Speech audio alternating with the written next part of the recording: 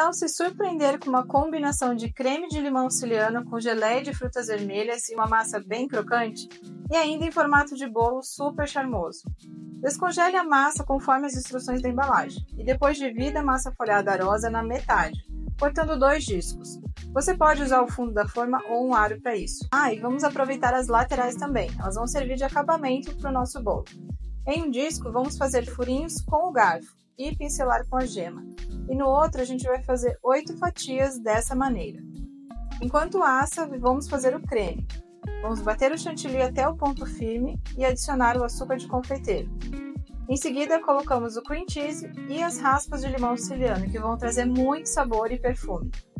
Na montagem, eu coloco o disco, intercalo o creme e a geleia de frutas vermelhas. Espalhe as camadas com cuidado e vamos decorar o topo com o disco cortado em fatias, que vai trazer muito charme ao nosso bolo.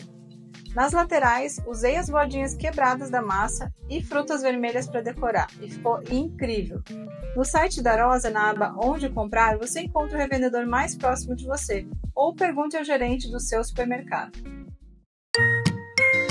Arosa